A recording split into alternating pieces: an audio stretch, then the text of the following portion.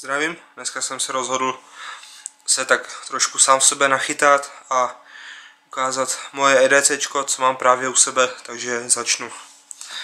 Parakardový náramek,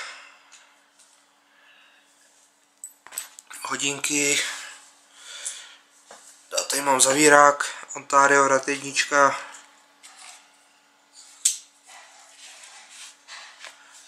tak, dál mám po kapsách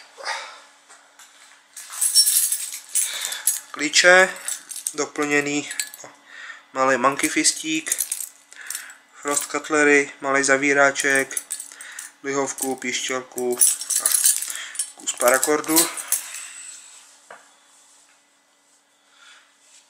Dál tu mám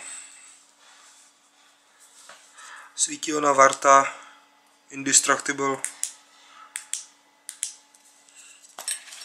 a doklady, peněženka. To je vše, co u sebe teďka mám. Takže zatím ahoj.